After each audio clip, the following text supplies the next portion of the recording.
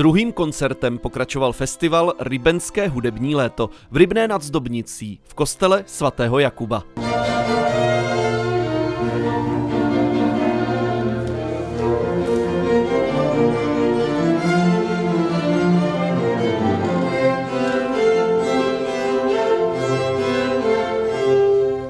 Dnes jste slyšeli krásný koncert Tria Beethoven.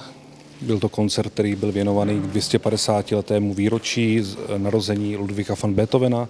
Zazněly ze skladby nechanického rodáka Jana Křtitele Vaňhala, dále Josefa Haydna, eh, potom Wolfganga Amalia Mozarta, France Schuberta a samého Ludvíka van Beethovena. Nejen dechberoucí vážná hudba, ale i recitace Jana Čenského. Dost možná nevíte, že slavný pohádkový princ má k našemu regionu velmi blízko.